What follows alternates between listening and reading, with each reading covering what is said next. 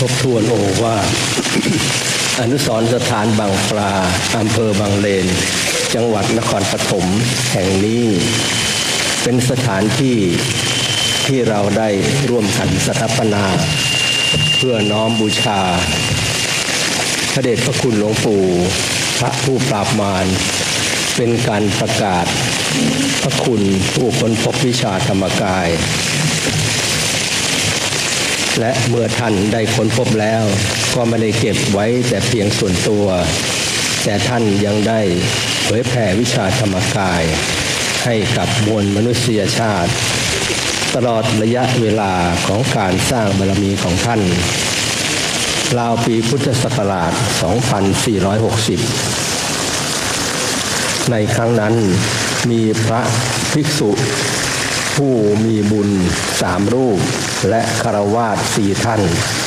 ได้ปฏิบัติธรรมตามคำแนะนำของพระเดชพระคุณหลวงปู่ และก็ได้เข้าถึงพระธรรมกาย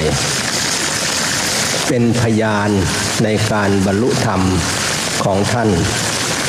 ก็ที่วัดบางปลาแห่งนี้เอง ซึ่ง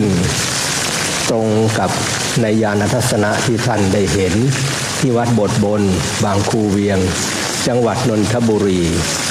เหตุการณ์นี้เป็นประจักษ์พยาน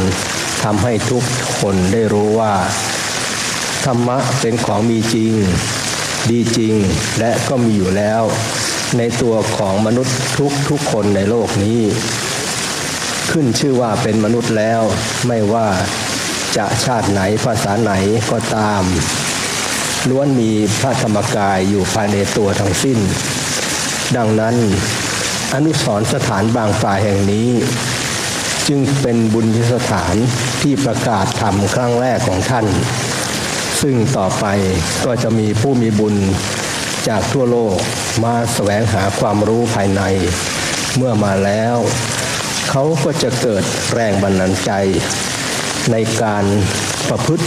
ปฏิบัติธรรม ให้เข้าถึงพระธรรมกายภายใน เหมือนอย่างที่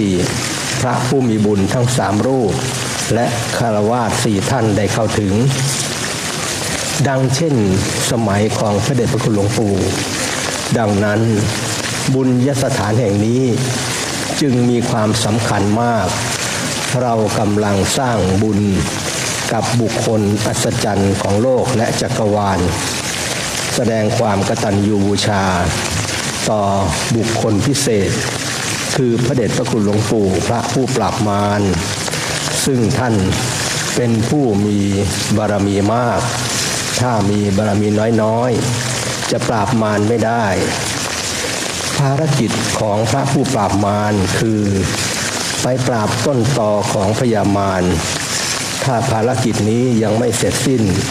ก็จะยังไม่เข้านิพพาน จะเพียรพยายามปราบมารเรื่อยไป จนกว่าจะถึงที่สุดแห่งธรรม ดังนั้นพระเดชพระคุณหลวงปู่ พระผู้ปราบมารท่านจึงไม่ใช่บุคคลธรรมดา แต่ท่านเป็นผู้รู้ ที่มีอนุภาพอันไม่มีประมาณ วันนี้เรามาร่วมกันประกาศคุณบูชาธรรม ในเส้นทางพระผู้ปราบมารณอนุสรสถานบางปลา ผลบุญอัศจรรย์ที่ไม่ธรรมดาและไม่มีประมาณ จะบังเกิดขึ้นกับเรา บุญนี้จะทำให้เราได้รับอานิสงส์คือ ไม่ว่าจะไปบังเกิดในภพชาติใด ๆ เราจะได้เกิดอยู่แต่ในร่มเงาบวรพระพุทธศาสนาวิชาธรรมกาย และเป็นผู้ เกิดในตระกูลสูง เป็นที่เคารพนับถือบูชาของมหาชน และได้รับการยกย่องสรรเสริญกิติศัพท์อันดีงามจะฟุ้งกระจรกระจายไปทั่ว เราจะเป็นที่รักของมนุษย์และเทวดา เป็นผู้มีศรัทธามั่นคงในพระรัตนตรัย เลื่อมใสยิ่งในวิชาธรรมกาย จะเป็นสัมมาทิฏฐิบุคคล จะเป็นผู้มีดวงปัญญาสว่างไสวัย จะได้มนุษย์สมบัติอันเลิศ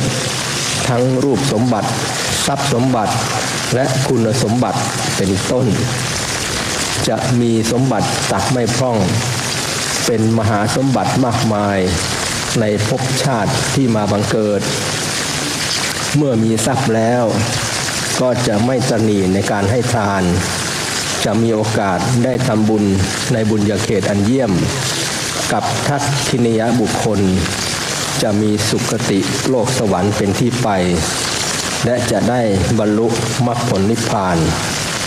โดยเร็วพลัน อีกทั้ง